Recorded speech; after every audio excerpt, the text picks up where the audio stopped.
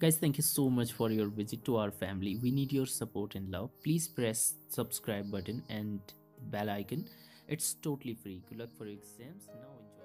Hey guys, you are most welcome again on my YouTube channel and today we are going to get some answers of the questions like who are pre-Raphaelite, uh, you know, the poets and what is pre-Raphaelite movement or brotherhood, who started this and where it started from.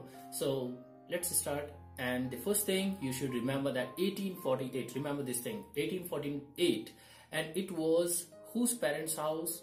It was john everett everett remember? John everett Millais's parents house in 1848 and some people gathered there and in that gathering we had john ever everett Millais, dante gabriel rossetti and william holman hunt. Three people you should remember. Okay now there were some more artists like poets, painters and critics who joined them later but these were the important people there.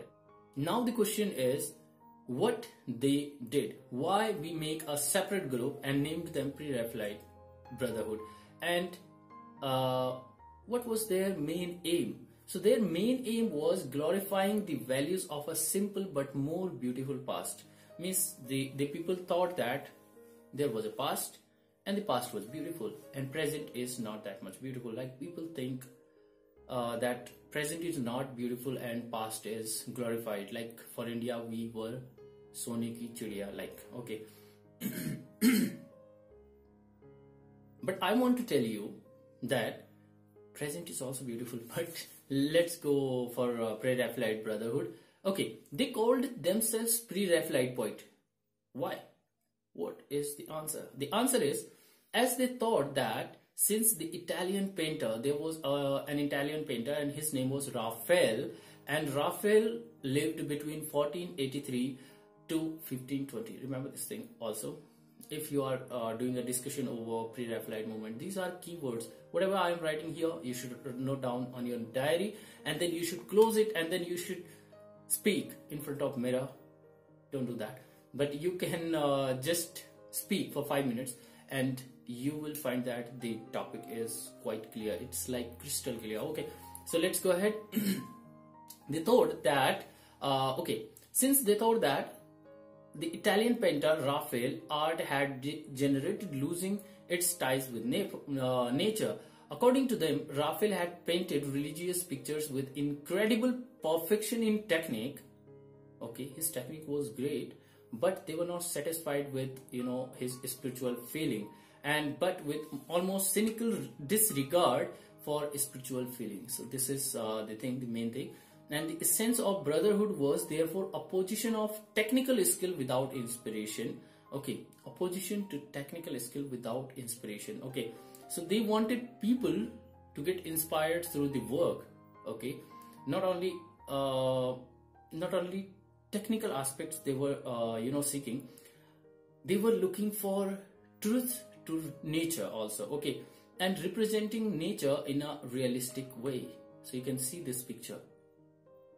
Okay so these were the pictures they made. Let me show you some more pictures from pre-Raphaelite movements. Okay later. This could be achieved through a minute description of detail in nature. So if you uh, watch the you know paintings of pre-Raphaelite brotherhood go to Google, search some pictures, and you will get fine idea what they used to draw. All right, they wanted to return to abundant detail and intense color of early, uh, you know, 15th century Italian art.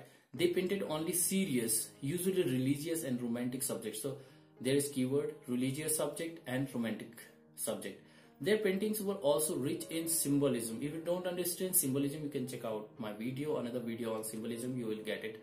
Okay, the Brotherhood early doctrine was expressed in four points. Remember these four points. Okay, write down. You can write down.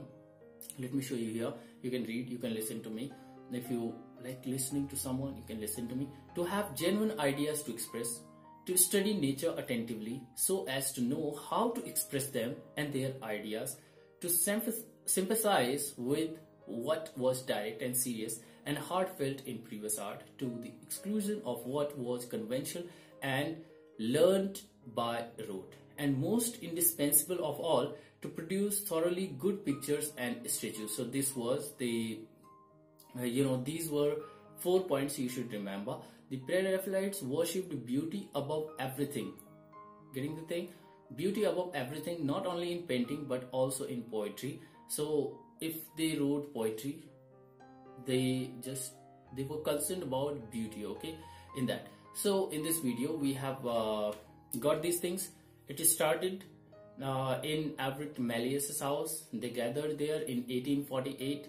Then uh, there were three, four people were important: Millais, Rossetti, and William Holman Hunt. And simple but more beautiful past they wanted to glorify with their with the help of their poetry and